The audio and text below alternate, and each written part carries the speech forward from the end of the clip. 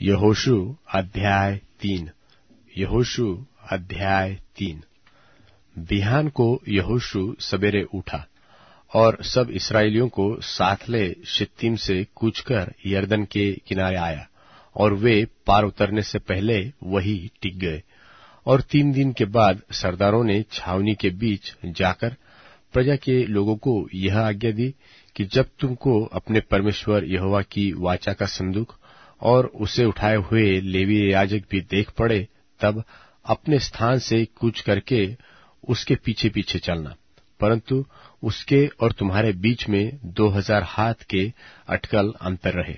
तुम संदूक के निकट न जाना, ताकि तुम देख सको कि किस मार्ग से तुमको चलना है, क्योंकि अब तक तुम इस मार्ग पर होकर नहीं चले।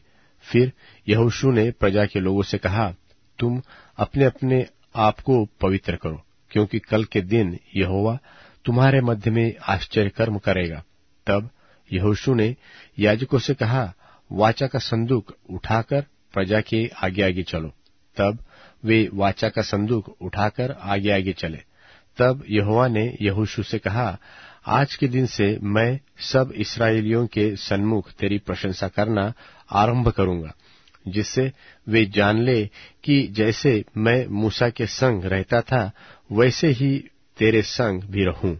और तू वाचा के संदूक के उठाने वाले याजकों को यह आज्ञा दे कि जब तुम यर्दन के जल के किनारे पहुंचो, तब यर्दन में खड़े रहना।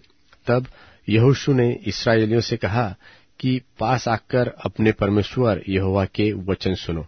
और यहोशू कहने लगा कि इससे तुम जान लोगे कि जीवित परमेश्वर तुम्हारे मध्य में है और वह तुम्हारे सामने से निसंदेह कनानियो, हित्तियो हिवियो परिजियो गिरगाशियो, एमोरियो और यबूसियों को उसके देश में से निकाल देगा।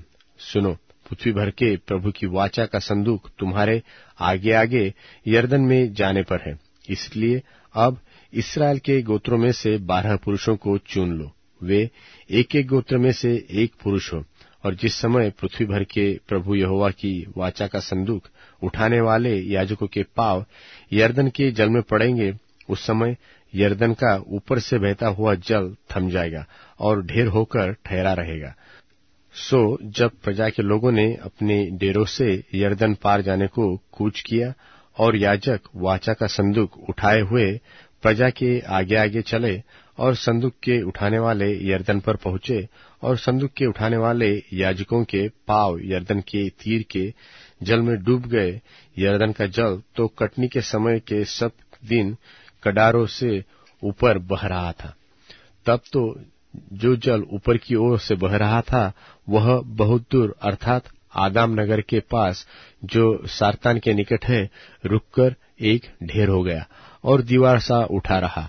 और जो जल अराबा का ताल, जो खारा ताल भी कहलाता है, उसकी ओर बहा जाता था, वह पूरी रीति से सूख गया। और प्रजा के लोग यरीहो के सामने पार उतर गए, और याजक यहोवा की वाचा का संदूक उठाए हुए यर्दन के बीचों बीच पहुंचकर स्थल पर स्थिर खड़े रहे, और सब इसराइली स्थली स्थल पार उतरते रहे। निदान उस सारी जाति के लोग यर्दन पार हो गए।